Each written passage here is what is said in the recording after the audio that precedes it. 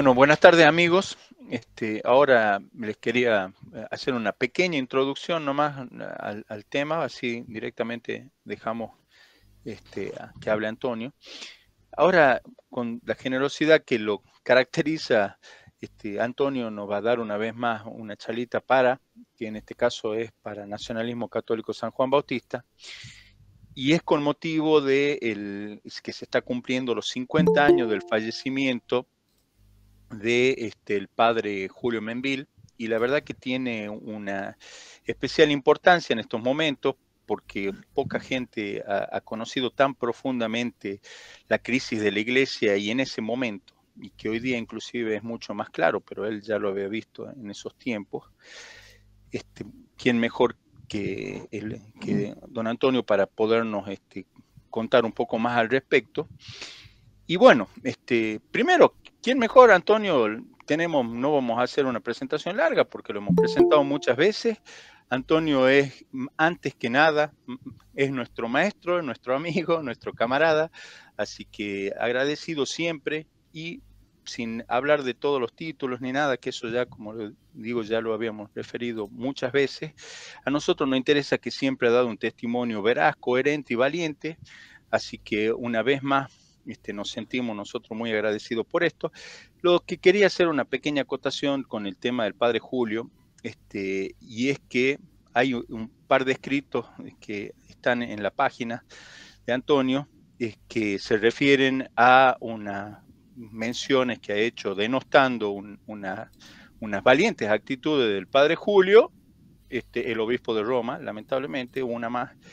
Este, así que me parece que inclusive eso no, nos sirve todavía mucho más esta charla para que podamos realzar esa figura tan importante. Bueno, sin más, dejamos a Antonio Caponeto entonces que nos ilumine con la figura del Padre Julio. Muchas gracias, Augusto. Muchísimas gracias a todos. Cuando el Papa San Pío X fue canonizado en el año 1954, el padre Membiel desde su inolvidable revista Diálogo, más precisamente en el número uno, le dedicó una nota cuyo repaso nos va a permitir un ingreso directo al título de la charla que vamos a abordar. Título que dice El buen combate del padre Julio Membiel. En efecto, Dice el padre Julio, hablando de San Pío X, el secreto de su santidad fue la fe. Nada había más natural a sus ojos que lo sobrenatural. El mundo de la fe le era familiar, mientras que el mundo a secas, así solo, debía permanecer extraño. No se mezclará en él sino forzado a la lucha contra los enemigos declarados de la Iglesia y contra los adversarios emboscados del dogma.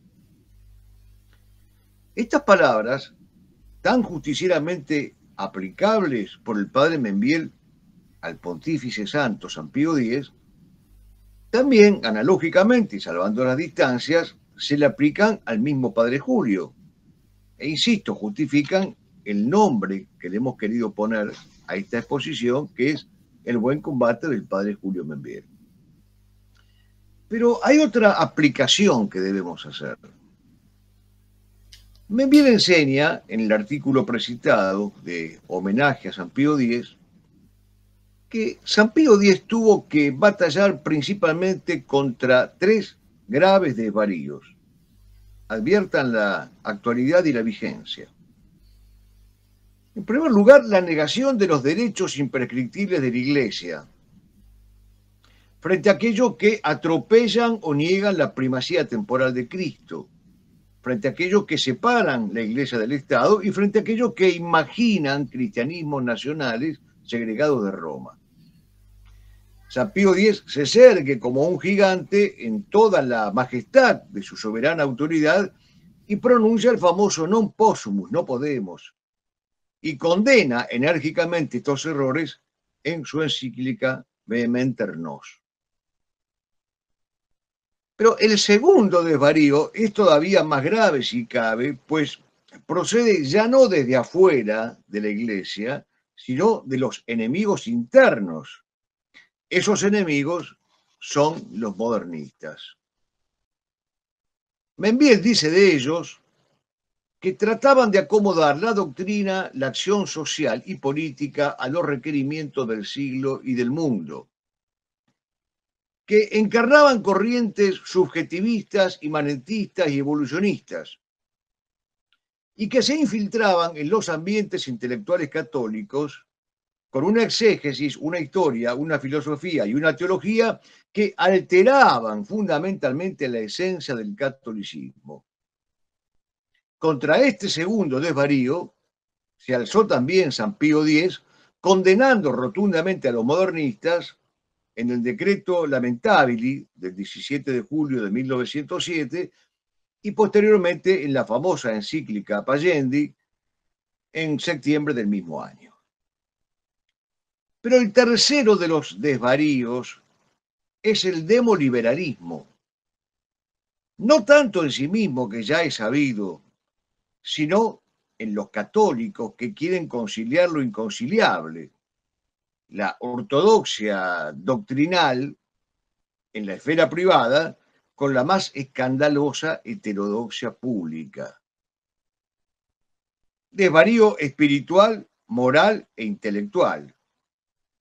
A sus principales sostenedores, los llamados sillonistas, porque eran seguidores del movimiento de Sillón, también les llegó la condena.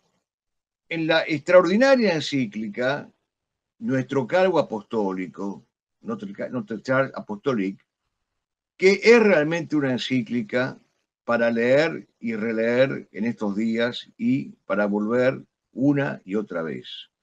Es en esta encíclica donde el Papa San Pío X lanza su famosa proclama pontificia, que fue el lema de todo su pontificado, Omnia instaurare in Cristo. Instaurar todas las cosas en Cristo. Si bien se miran las cosas, estos tres combates que con razón el padre Julio Membiel le atribuye a San Pío X son los mismos que él sostuvo a lo largo de toda su vida. La lucha contra las fuerzas combinadas de la judeo-masonería la lucha contra la herejía progresista, también llamada neomodernismo o neomodernista. Y la lucha contra el demoliberalismo y sus frutos de perdición, el socialismo y el comunismo. No quedaría completo, a mi juicio, este paralelismo que nos hemos propuesto entre el Papa San Pío X y el Padre Julio Membiel si no hiciéramos una nueva aplicación de sus enseñanzas. Dice Membiel que para poner freno y remedio a los tres grandes males denunciados y condenados por el Papa Santo, se necesitan tres conductas ejemplares o tres reacciones ejemplares, que son las tres conductas o reacciones ejemplares que San Pío X encarnó y que el Padre Julio quiere volver a proponernos en su homenaje. En primer lugar, se necesita una santidad de vida y una integridad de doctrina. En segundo lugar, una recta concepción del ordenamiento político, social y económico.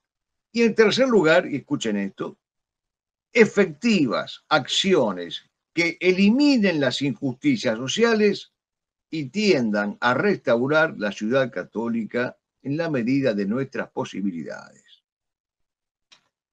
Y estas tres conductas las sostuvo el padre Julio Membiel. Vamos a ver por qué.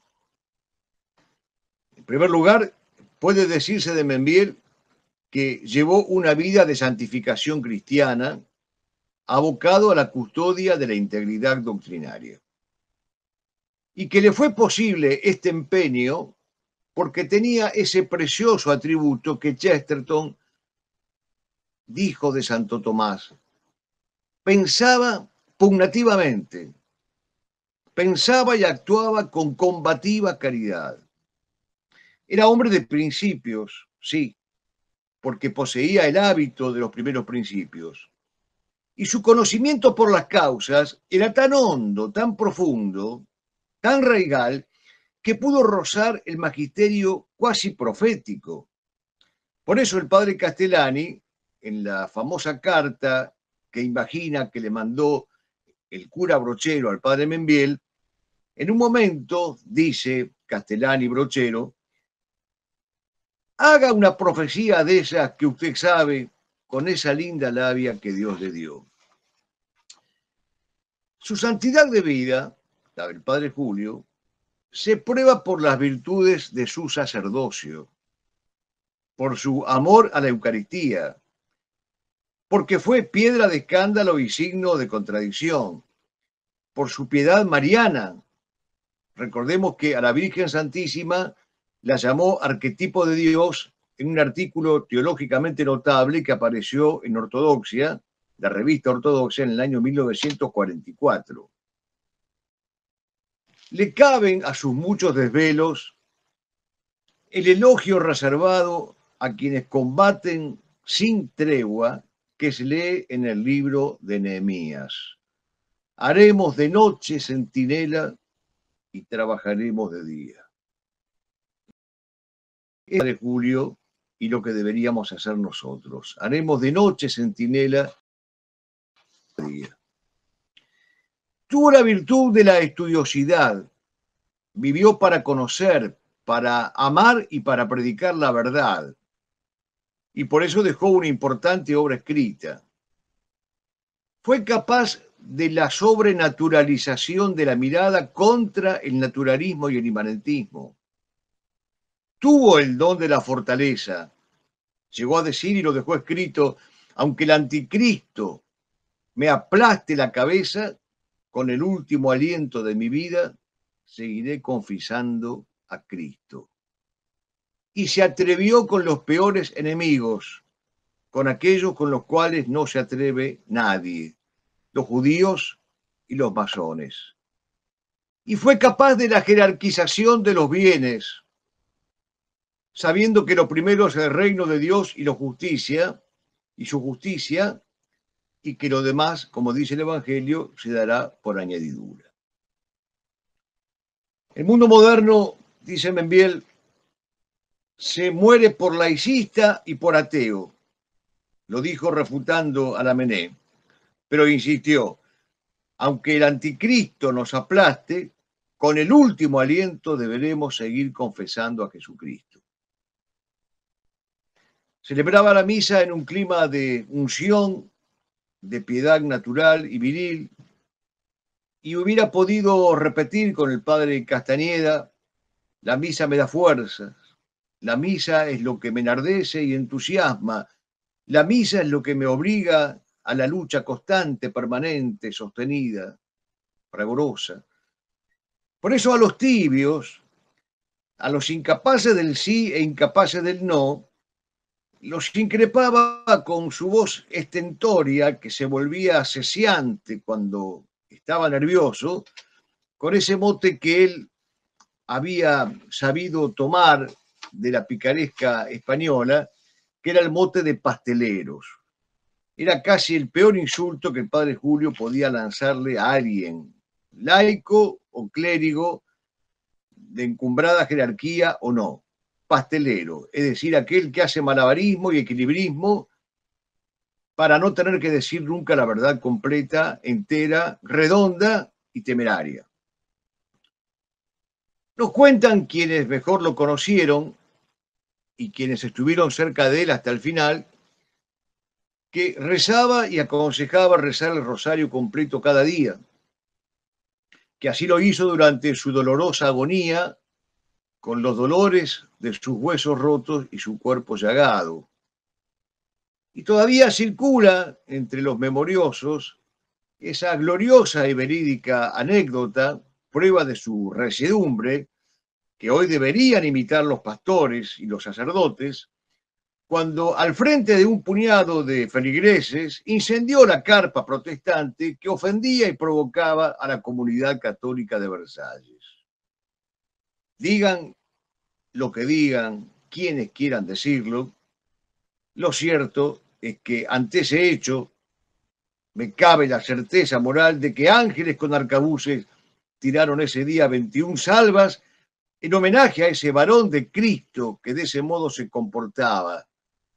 Porque bien dice San Juan Crisóstomo, digno es de alabanza ser paciente en las injurias contra uno mismo, pero disimular y tolerar las injurias hechas contra Dios es de una extrema y manifiesta impiedad.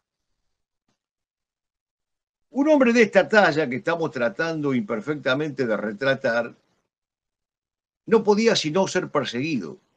Y lo persiguieron. Lo llevaron preso varias veces, lo amenazaron permanentemente, lo sometieron a la conspiración de silencio, le iniciaron un juicio por insania, lo acusaron de socialista, nada más y nada menos que los miembros de la entonces TFP, hicieron circular fotos y grabaciones fraudulentas y él respondía siempre ante este cúmulo de males de sus persecutores de la misma manera. Las persecuciones de los judíos me honran. La Virgen no va a permitir que triunfen.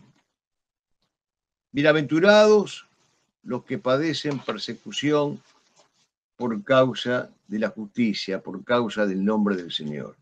Bienaventurados. Pero a esta santidad de vida agregó lo que creía imprescindible para forjar la primera conducta reaccionaria contra los desvaríos modernos. Agregó la integridad doctrinaria. Todo en su fecundísima obra es testimonio de esa integridad. Y así realizó un apostolado intelectual pocas veces visto en la Argentina. Nos dejó más de 20 libros eximios y centenares de notas, artículos, editoriales y ensayos. Colaboró con muchas revistas católicas y católicas y nacionalistas. Criterio, Cruzada, Universitas, Sol y Luna, la Fronda, Itinerarium, Ars, Cabildo, La Nueva República, Ortodoxia, Sapiencia, Ulises, Anfiteatro, Verbo, Jauja, Azul y Blanco, Micael, entre otras. Vale la pena preguntarse cómo pudo llevar a cabo esta tarea de investigación y de promoción de la verdad, publicando libros eximios como La crítica a la concepción de Maritain a la persona humana, o la cosmovisión de Taylor de Jardín, y defendiendo y esclareciendo a la vez la integridad doctrinal sobre temas contingentes y circunstanciales. Es maravillosa esta combinación. Surge, por ejemplo, esto último que acabamos de decir de su obra política argentina o el comunismo en la Argentina, que prologara post-morte en su discípulo mártir Carlos Alberto Sacheri. Lo primero que hay que tener en cuenta para responder a esta pregunta es que su importante obra escrita debe verse como un capítulo y como una manifestación de su alma sacerdotal.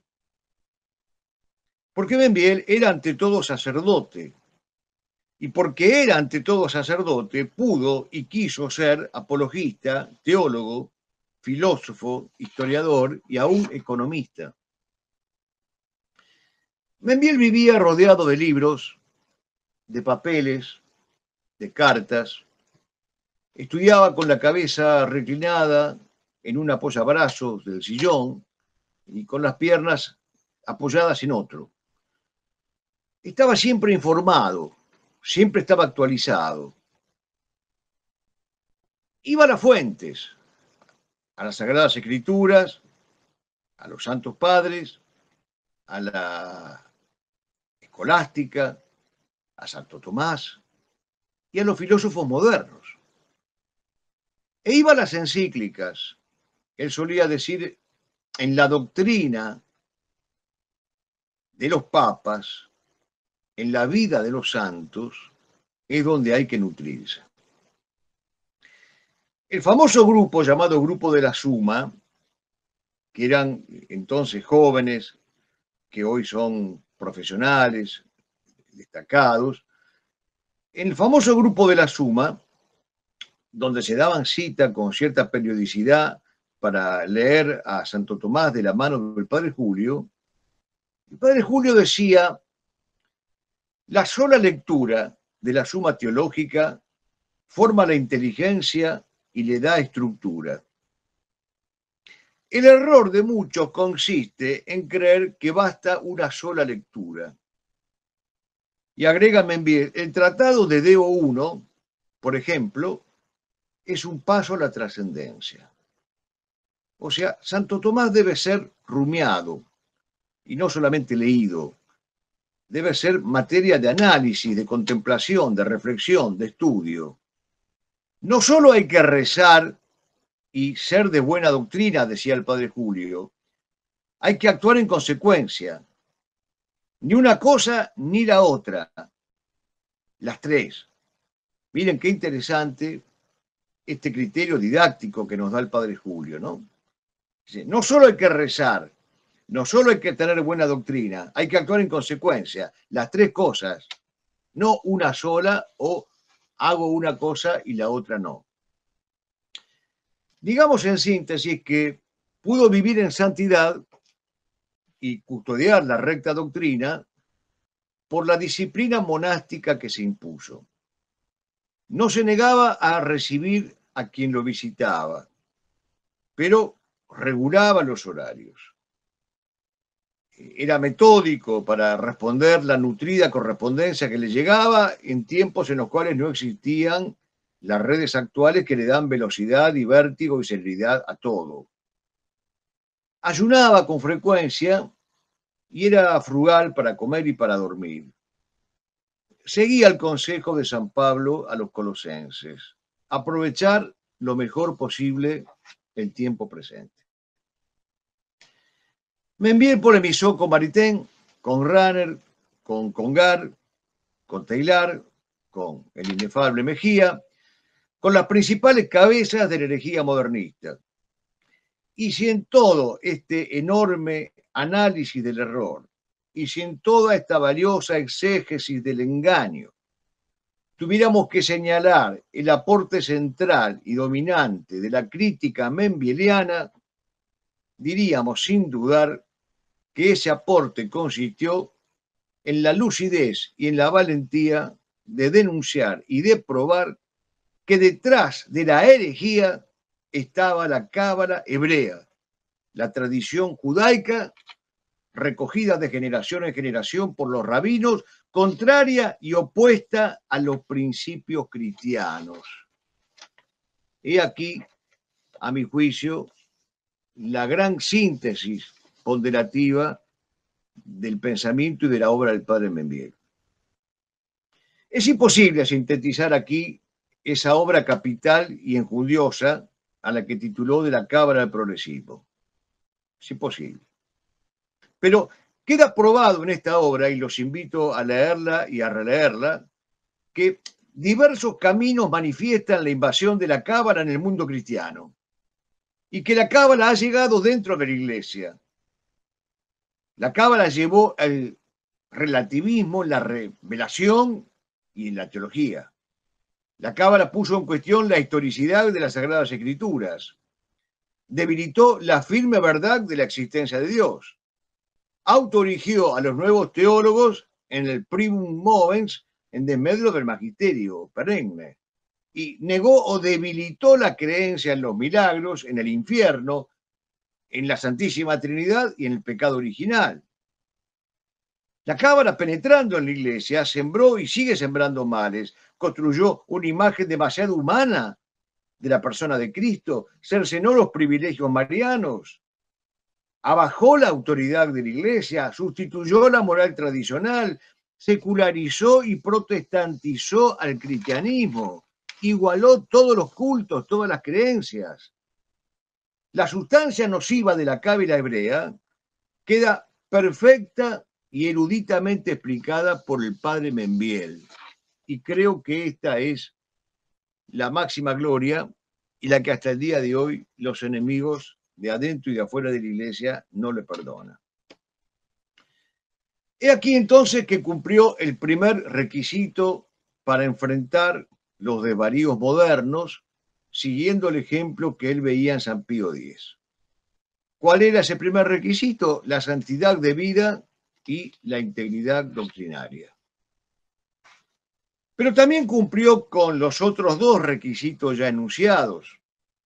La recta concepción del ordenamiento político-económico y efectivas acciones que eliminen las injusticias sociales en la medida de nuestras posibilidades. De su recta concepción del ordenamiento político y económico dan prueba sus libros. Concepción católica de la economía, concepción católica de la política, conceptos fundamentales de la economía, el poder destructivo de la dialéctica comunista. Voces autorizadas han resaltado el valor de estas obras. Pienso, por ejemplo, en Monseñor Derisi, en el padre Sánchez Abelenda, en Marcelo Lascano, en Alberto Caturelli. Alberto Caturelli en la historia de la filosofía en la Argentina, que es una obra monumental, sin duda, le ha dedicado páginas magistrales a describir y a valorar la filosofía política de Membiel e incluso a ponderar cómo a partir de Santo Tomás de Aquino supo deducir las leyes fundamentales del quehacer económico. Por eso, sobre su recta concepción del ordenamiento político y económico, basta leer sus obras y a los principales comentaristas de sus obras. Pero Debo decir en confianza dos palabras sobre la tercera conducta o el tercer requisito que cumplió el padre Membiel, a imitación de San Pío X, y para contrarrestar los desvaríos modernos. Y ese tercer requisito que ya hemos mencionado es la capacidad de ejecutar acciones concretas en pro de los más necesitados. Tanto fue así que cumplió con este requisito que para sorpresa de todos, página 12, no hace falta que explique lo que es página 12, tal vez para alguien que me escuche desde el extranjero, es el supremo y magno pasquín bolchevique de esta triste y arrasada República Argentina. Página 12, en su edición del 25 de febrero del año 2006, saca una nota sobre el padre Julio Membiel, firmada por Silvia Zaita y Luis Alberto Romero. Y hacen el elogio del padre Membiel justamente por su capacidad de volcarse a las acciones concretas en pro del bien común. Leo un fragmento. Membiel se desempeñó desde 1933 como cura de la parroquia de Nuestra Señora de la Salud en Versalles, un barrio nuevo del oeste de la ciudad. Allí el padre Julio dejó un recuerdo imborrable como excelente párroco consagrado a atender todas las necesidades espirituales y materiales de su feligresía. Membiel creó un sinfín de instituciones parroquiales, entre ellas el Ateneo Popular, y una asociación de caucatólicos que luego fue adoptada y generalizada por el arzobispado. También se esforzó, se esforzó por transformar la modesta iglesia de chapa y de madera en un edificio cabal. Pero es más, también página 12 reproduce sobre Membiel una entrevista que en diciembre de 1940 le hizo Larran de Beré, un periodista que no podía creer lo que estaba viendo cuando se puso en contacto con el Ateneo Popular de Versalles y con la obra en pro del bien común, barrial, comarcal, regional, que el padre Julio llevaba a cabo. Y en un momento determinado dice el entrevistador, que no es católico, por cierto, al observarlo acude a mi memoria la directiva trazada a los sacerdotes católicos por el pontífice León XIII en su encíclica Rerum Novarum. Id al pueblo. No hay, lo advierto, es el entrevistador quien habla, no hay, lo advierto claramente en la actitud del cura de Versalles, fines demagógicos ni propósitos de vana popularidad. Además es sociólogo, según testimonio elocuente de los muchos libros de los que es autor. Con lo cual comprenderán ustedes, queridos amigos, que aquí se cumple lo que decíamos antes los verdaderos amigos del pueblo no son los revolucionarios, dice San Pío X, son los tradicionalistas. Tenemos que mencionar al escautismo de Membiel como parte de su acción concreta en pro de los necesitados. Este es un tema sobre el cual quiero echar algún párrafo. Membiel sabía que los principios cabalistas podían desnaturalizar el escautismo católico y por lo tanto tomó sus recaudos teóricos prácticos que también vean ustedes la vigencia que tienen estos recaudos. En primer lugar, decía Membiel, no se trata de divinizar a la naturaleza. En segundo lugar, no se trata de un simple entretenimiento sino de un entrenamiento, entrenarse para servir.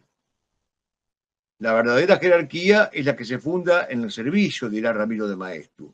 Estoy entre vosotros como el que sirve, dice nuestro Señor. O con aquella copla española, vale quien sirve, servir es un honor. Vale quien sirve y esfuerza el corazón, luchando siempre con fe y tesón. Y decía además el padre Membiel, no se trata de la defensa del ambientalismo en su faz meramente corpórea, sino de algo más profundo, el ambiente humano en el cual vivamos y en el cual respiremos, tiene que ser un ambiente virtuoso. Ese es el verdadero ambientalismo para un católico.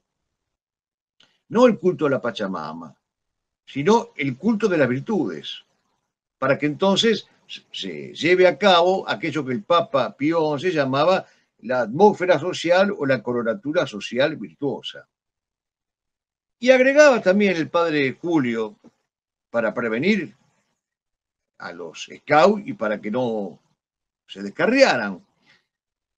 No se trata de caer en un sincretismo o en un ecumenismo falso, no se puede decir que no hay diferencia de credos, de ideas o de fronteras. Sí, hay credos falsos, frente a los cuales nuestra tarea es el apostolado para que se conviertan los que practican esos credos falsos. Hay ideas perversas, frente a las cuales nosotros tenemos que hacer todo lo posible para corregirlas, refutarlas, enmendarlas y sacarlas de su condición de estorbo para el progreso de nuestra vida espiritual e intelectual. Y hay fronteras, hay fronteras nacionales por las cuales, si es necesario, habrá que dar la vida. Bienvenidos a CEPA, Centro de Estudios del Pensamiento Americano. Nuevo sitio web de cursos de formación en política, filosofía, historia, literatura, geopolítica, religión, psicología y más cursos de formación que reflejan el verdadero pensamiento americano. Lo invitamos a elegir el curso de su agrado ingresando en www.cepa.la.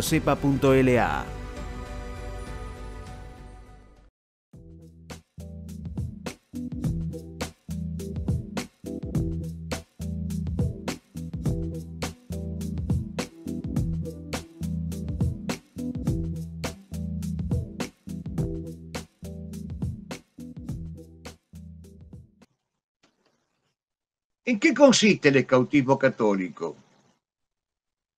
Tengo aquí justamente el testimonio de uno de aquellos primeros dirigentes scout, en los cuales se da una buena pauta de lo que fue esta agrupación. Una empresa para captar y educar las fuerzas del ensueño que brotan en el niño.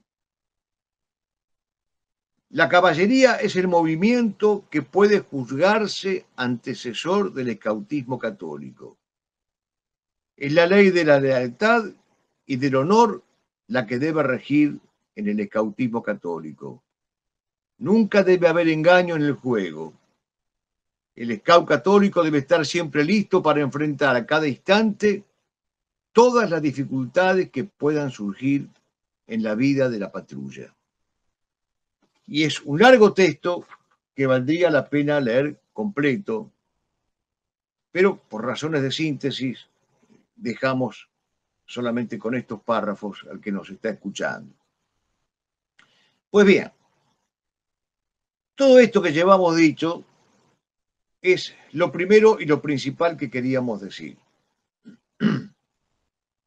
Me envié el periodo Buen Combate contra los enemigos de la fe. Y a emulación de San Pío X, encarnó las tres conductas necesarias para que ese combate fuera fructífero. Santidad de vida e integridad doctrinal, primero. Segundo, recta concepción de la política y de la economía. Tercero, acciones concretas en pro de la justicia y del bien común. Ahora sí, consideremos un último aspecto del buen combate del padre Membiel.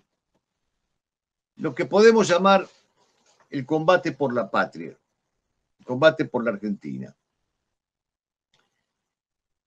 El padre Membiel distinguía entre el ser de la patria y el estar de la patria.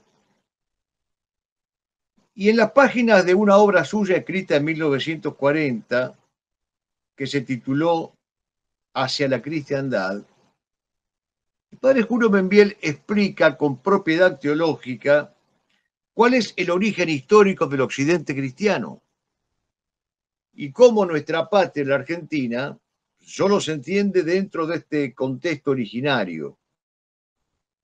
Y cómo nuestra patria, la Argentina, si quiere ser fiel a su origen, tiene que proponerse como meta política la instauración de todas las cosas en Cristo para seguir siendo parte de la cristiandad como lo fue en un principio.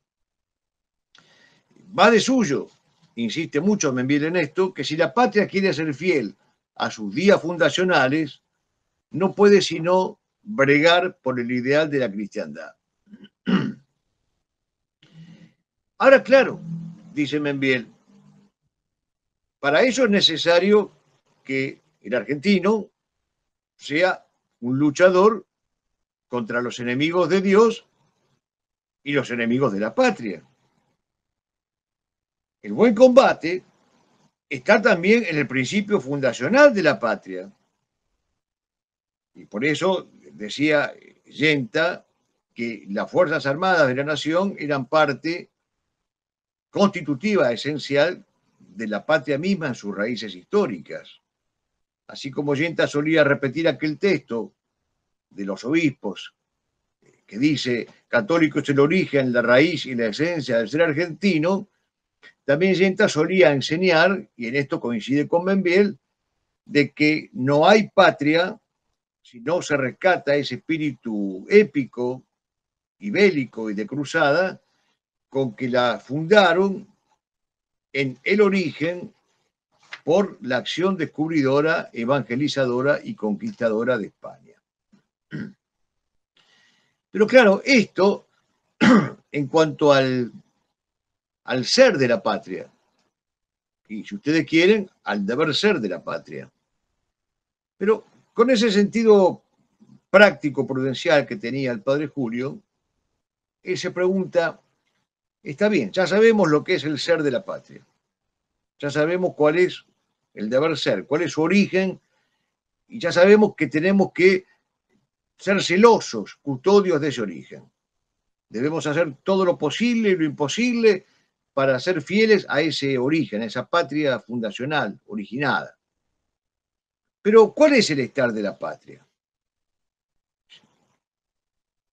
El padre Julio no se engañaba, ni enmascaraba ni diluía la dura realidad de la patria enferma que le tocó presenciar. Sufría por ella como ante una madre que se desangra y agoniza. La patria fue su herida, escribió en un poema famoso el padre Néstor Sato.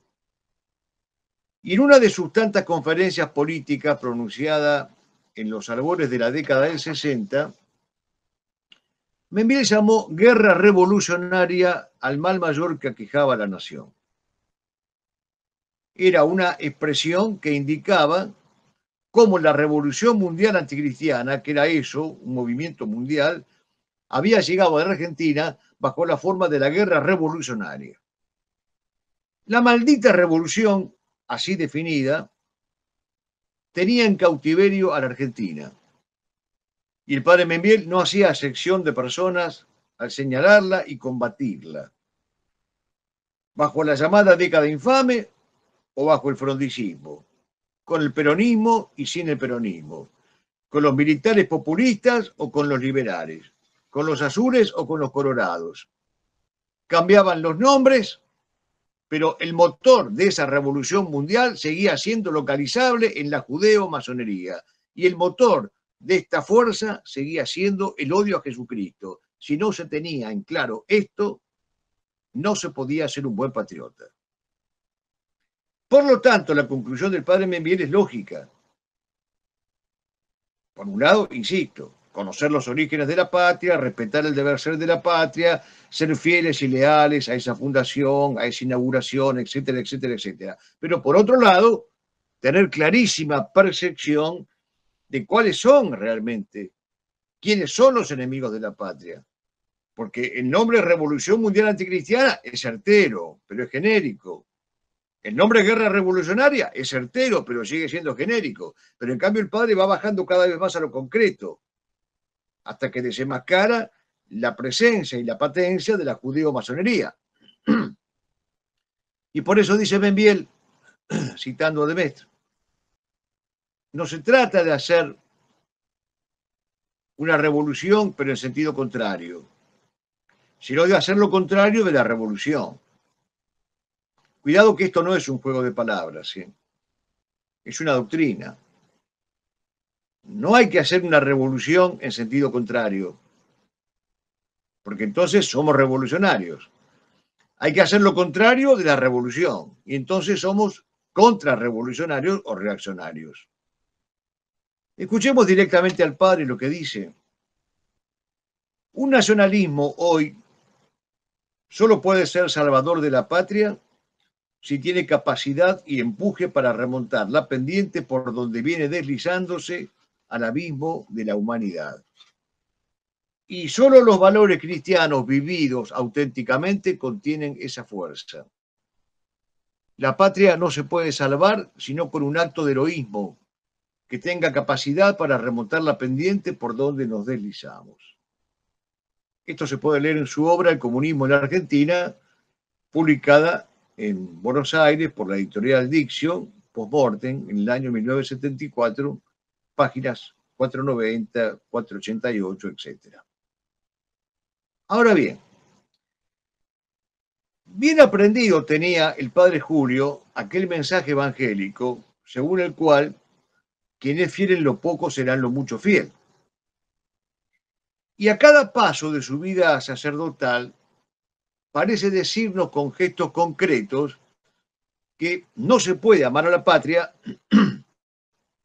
si no se empieza amando la cuadra en la que uno vive, el barrio, la parroquia, la vecindad, el municipio, la región. Así lo hizo, por ejemplo, desde Nuestra Señora de la Salud en el barrio porteño de Versalles, para probar con creces esta posibilidad cierta de edificar la cristiandad en el pago chico, este irrenunciable afán de ser patriota de la tierra y patriota del cielo, como decía Marechal. Para Membiel, y leo las palabras de Fabián González Arbas, uno de los primeros escautistas católicos que tuvo el padre Julio, para Membiel, las fechas y los símbolos patrios tenían un alto significado cívico y no pasaron nunca inadvertidos. A decir verdad, buena parte de la formación que la parroquia Nuestra Señora de la Salud brindaba a través del método Scout católico estaba dirigida a resaltar los valores nacionales y el amor a la patria.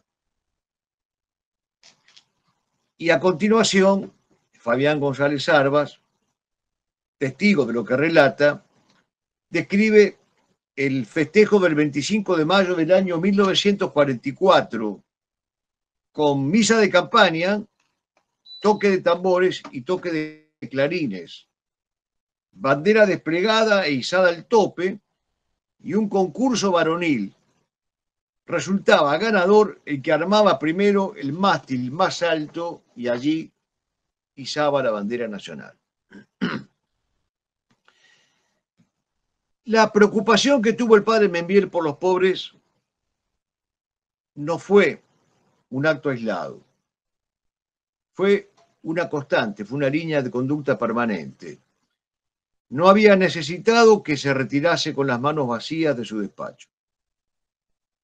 Hacía montoncitos de monedas con un sentido jerárquico según el grado de pobreza del visitante. Algunos pobres tomaban ellos mismos el puñadito de moneda que sabía que le correspondía. Un pobre de categoría recibía un billete.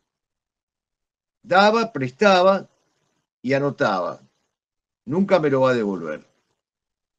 Compartía la comida, y esto tampoco es retórica, cumpliendo lo que dice Isaías 58, 6, 7, partió su pan con el hambriento.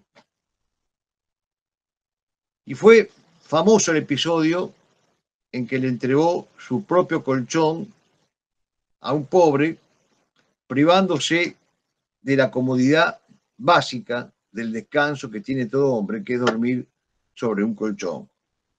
Sobre este episodio, que también puede parecer nada más que una hipérbole o una exageración, después en todo caso, en el momento del diálogo, de la pregunta, me gustaría contarles algo. Membier practicó lo que se llamaba entonces la cura de almas, una intensa vida parroquial. La pastoral de las puertas abiertas, antes de que se inventara la iglesia en salida y todas estas naderías.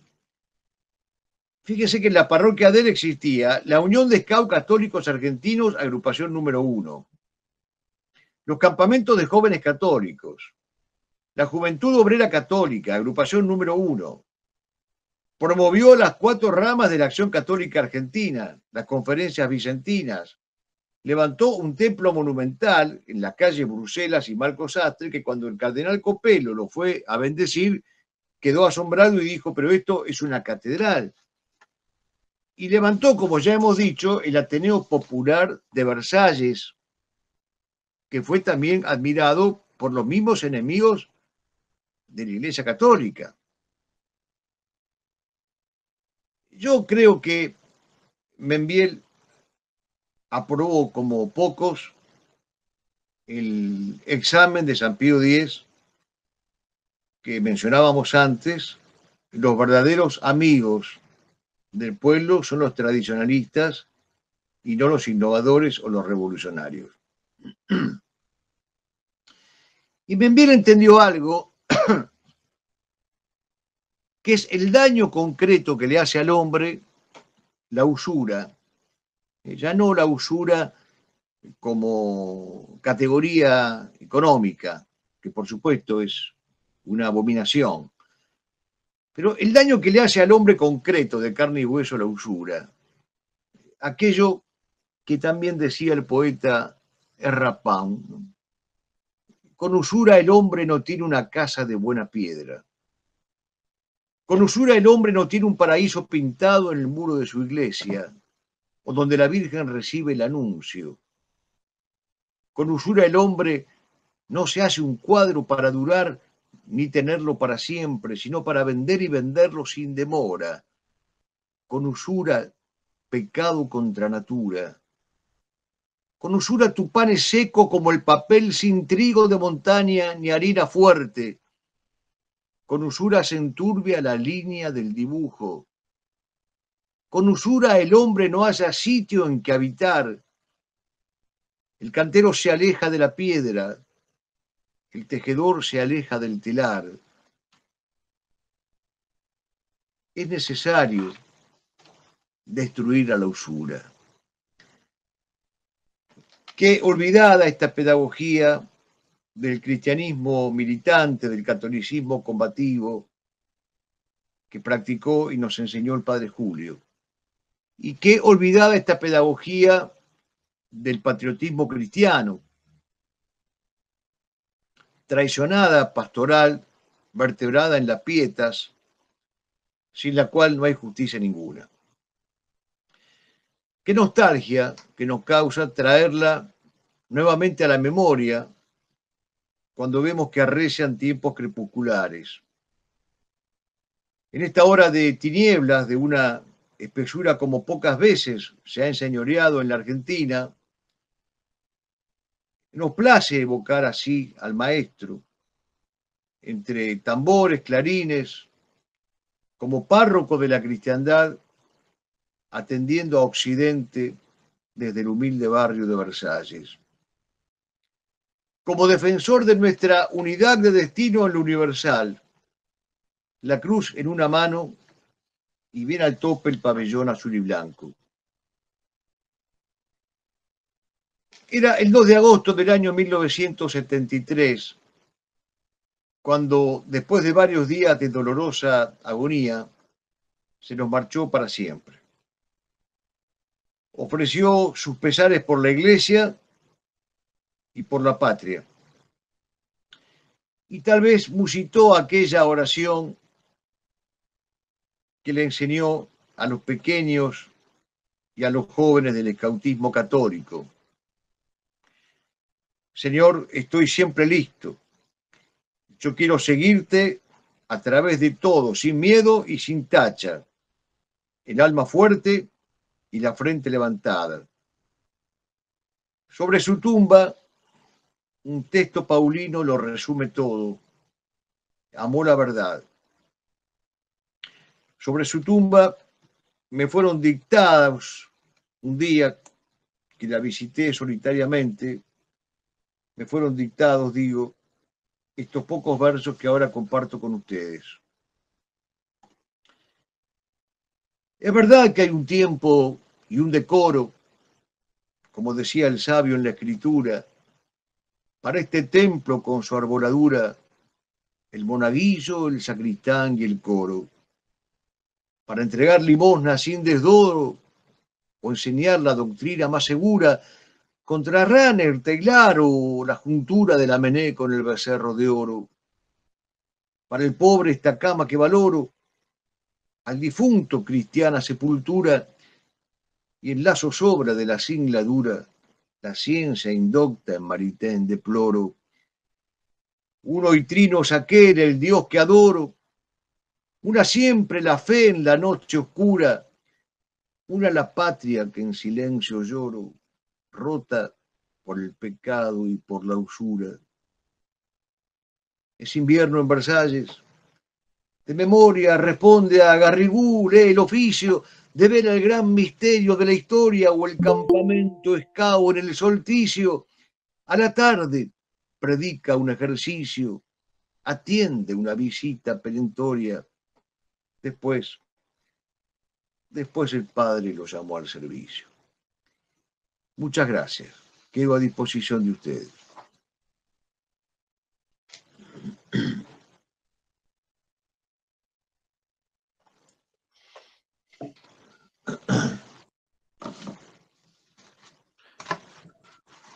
Bueno, muchas gracias, Antonio. Este, la verdad que merecidísimo panegírico de este santo varón y nadie mejor que Antonio para hacerlo. Así que ahora les pido este, a los que quieran hacer una pregunta que la escriban, por favor, que la escriban ahí en el chat de, Google Meet, así la vamos pasando. Este, vamos a tratar de, eh, elegir si es que son varias por una cuestión de tiempo.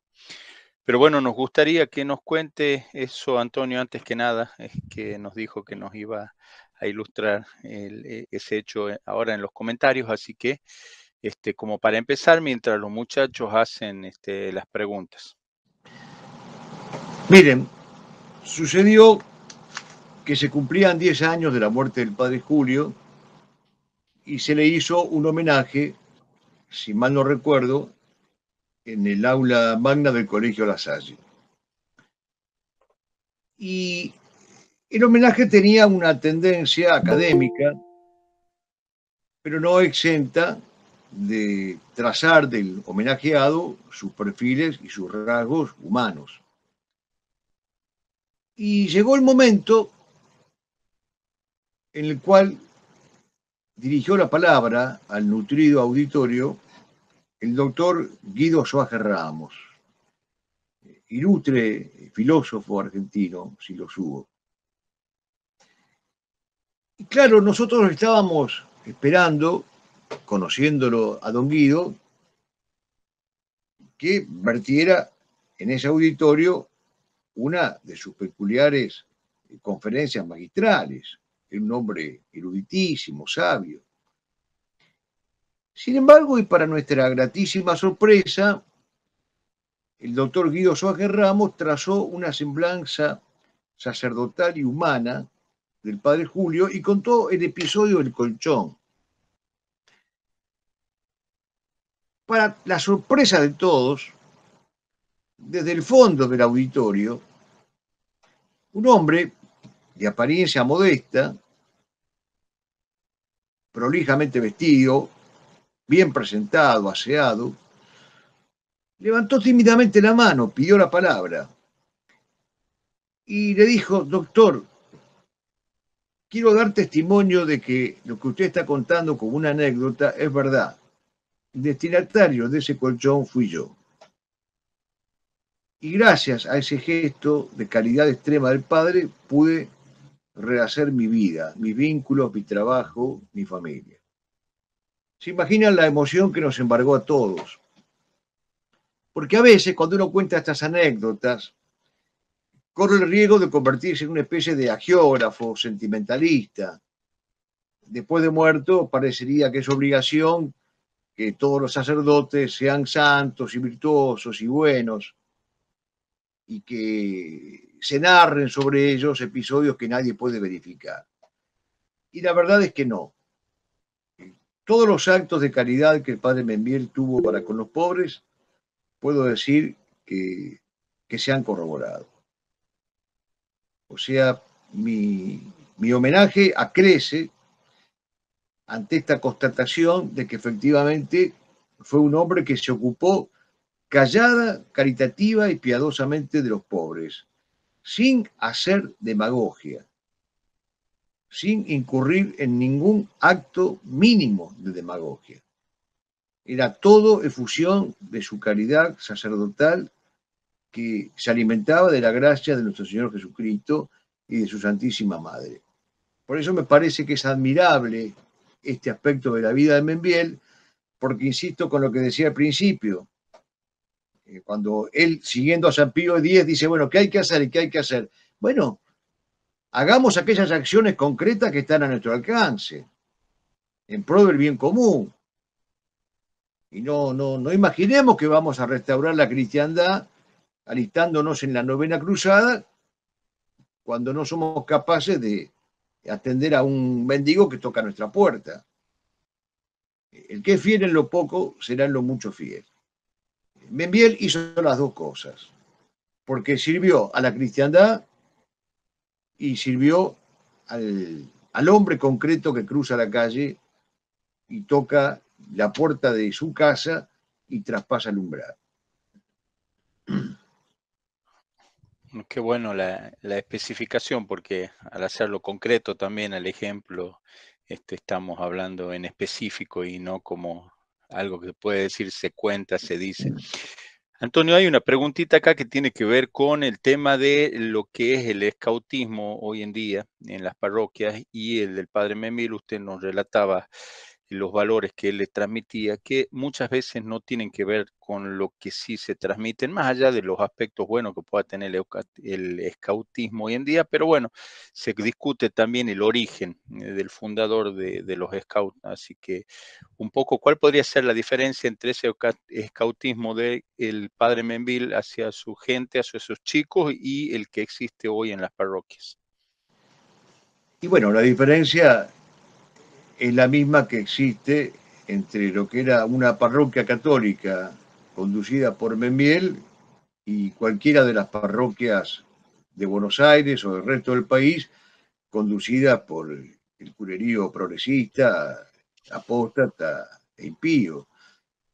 hoy el escautismo, salvando algunas excepciones, no es nada más que una manifestación del ambientalismo y del ecologismo y del aventurerismo campamentero, una especie de hipismo con, alguna, alguna cuota de agua bendita, pero de ahí no pasa.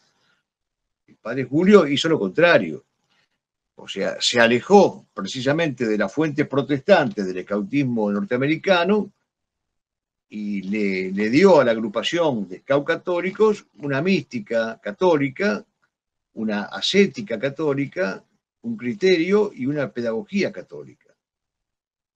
Ahora, yo obviamente no sé qué hace cada grupo scout en cada parroquia, se imaginan que no, no me dedico a eso, pero, pero veo lo que son las parroquias, hablo al menos en Buenos Aires, ¿no? Las parroquias son, un desastre.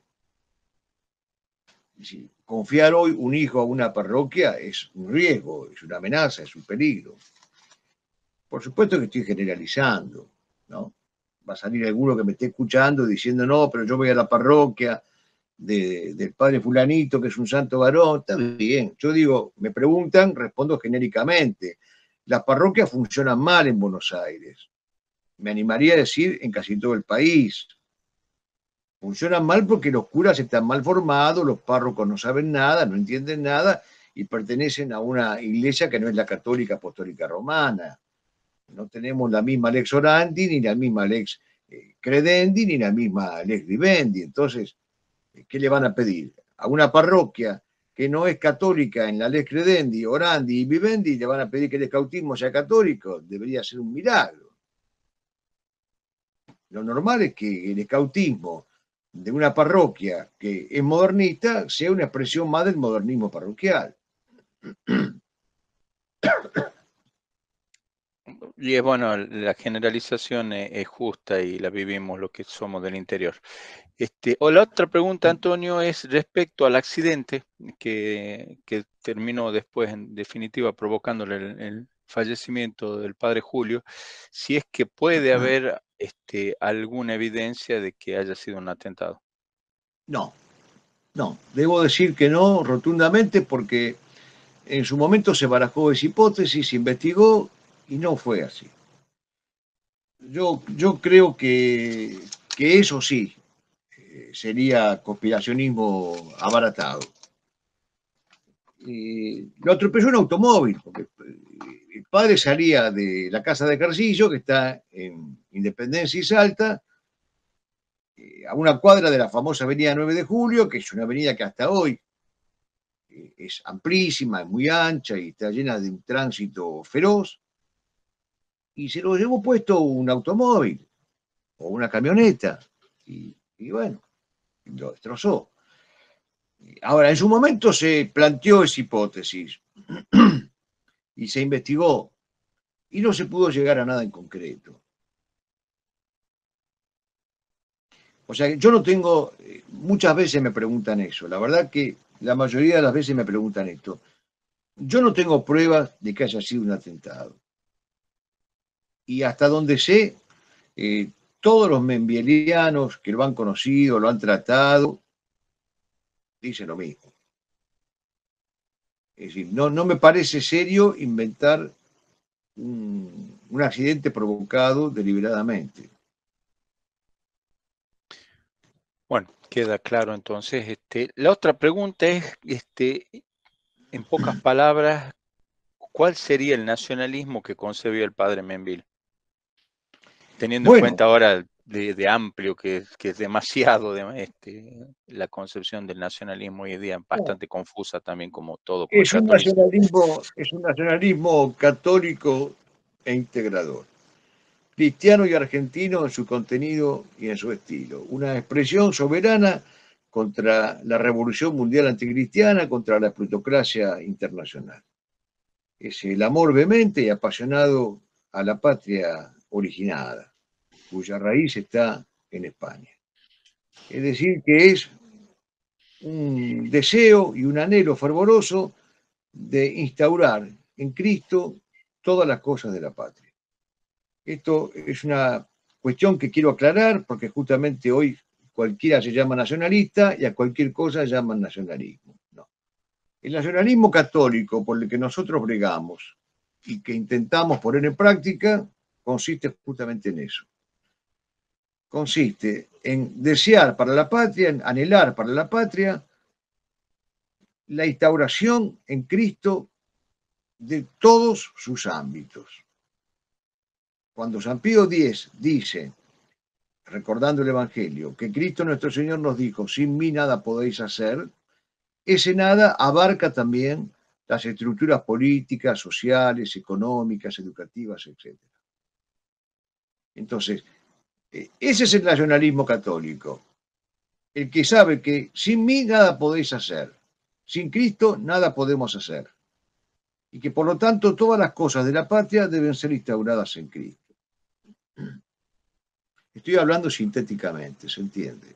Sí, sí, sí, que era lo que creo que a eso apuntaba la pregunta.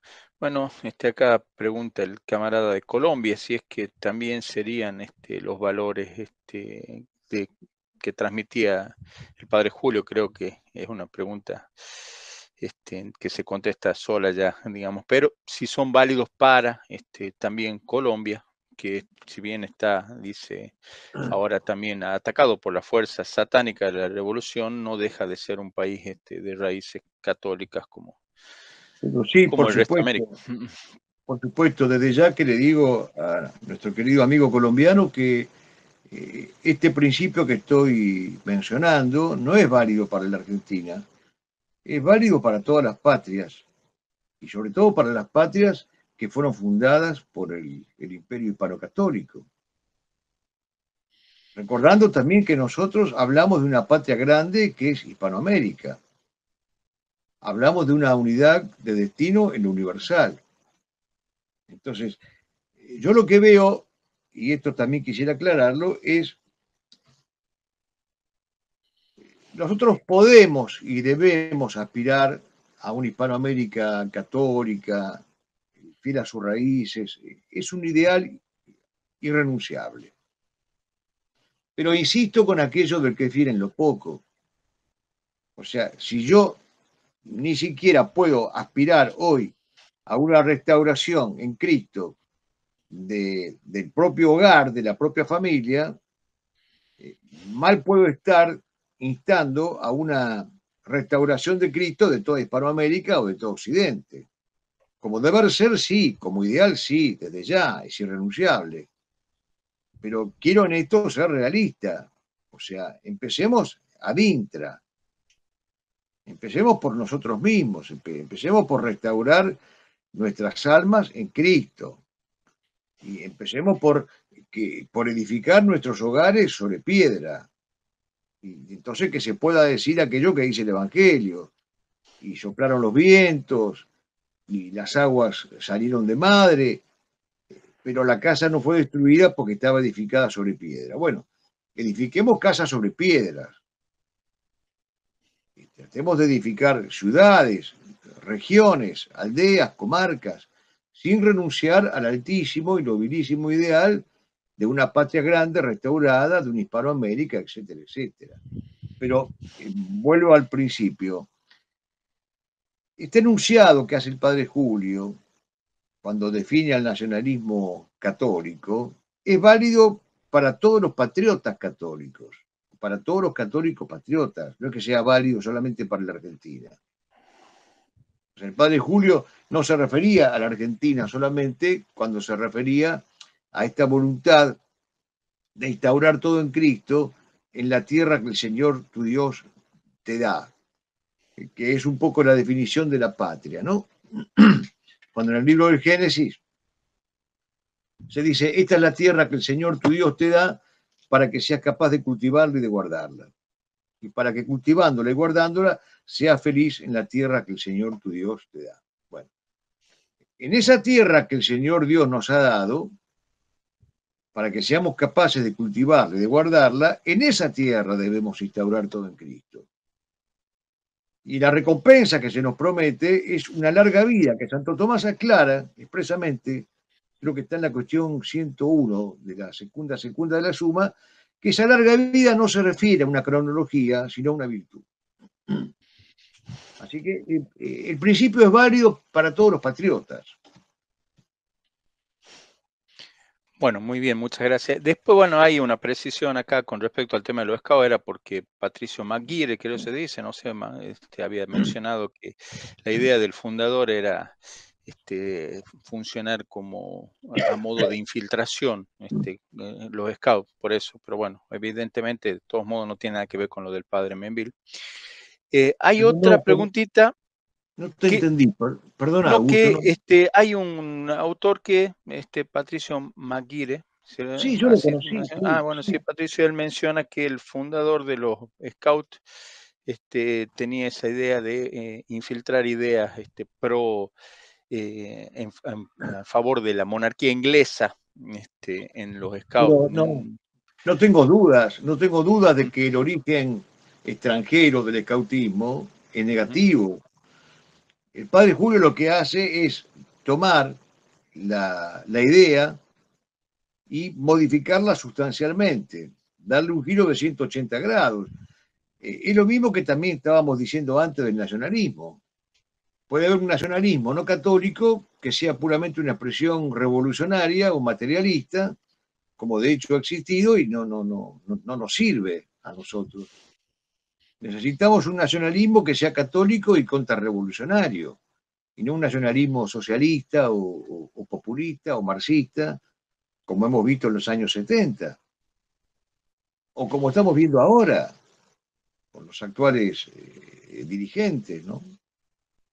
Según ellos son nacionalistas. Bueno, después otra pregunta sería, es cómo, que, que cómo veía este, el padre Julio el accionar de la masonería en la Argentina específicamente. Bueno, las veces que se refería a la masonería, eh, siempre lo hacía a la luz de los documentos pontificios, principalmente del Humanum Genus del Papa León XIII. Él siempre repetía eh, aquello que dice León XIII, ¿no? Se levanta, se insolente la secta de los masones regocijándose de sus triunfos. Préstanse mutuo auxilio sus sectarios, todos unidos en nefasto consorcio. Tan fiero asalto pide igual defensa, y es a saber que todos los buenos se unan en amplísima coalición de obras y oraciones para que los errores al fin abran paso a la verdad y los vicios a la virtud. Ese era el concepto membieliano de la masonería, en concordancia plena con el magisterio leonino. Bueno, muy bien. Este, otra pregunta sobre lo dicho por Menville acerca del anticristo. ¿Qué nos podría decir sobre su actualidad? Y bueno, ustedes recordarán que al final de su obra de la Cámara al Progresismo, el padre Julio baraja la hipótesis de dos iglesias que convivan, la iglesia de la publicidad y la iglesia de las promesas. La iglesia de la publicidad era la que servía al anticristo y al mismo tiempo hacía las veces de la fila de la tierra, que se convierte en publicista y en propagandista del anticristo. Es más, es la que entrega, o al menos intenta entregar, la iglesia de las promesas a merced de la iglesia de la publicidad. El padre Julio trabajó mucho este tema, habló muchas veces de este tema, y yo creo que cada día que pasa, palabras al respecto tienen más carácter profético o tienen una más desgarradora y dolorosa vigencia. indudablemente hoy, por permisión divina, y no sabemos ni cómo, ni cuándo, ni hasta cuándo, sobre todo ni hasta cuándo, indudablemente la iglesia de la publicidad está como oscureciendo o apagando a la iglesia verdadera, a la iglesia de las promesas. De modo que nuestra, nuestra tarea frente a eso es, como decía el padre Julio, aunque el anticristo nos aplaste con su poderío, seguir testimoniando a Cristo. Y aunque esté, o por lo mismo, con más razones, metido dentro de la iglesia. Eh, esto es un poco lo que, lo que se dijo aquella vez que Pablo VI dijo, el humo de Satanás ha entrado en el templo de Dios. Está bien, pero nadie dijo que se había retirado.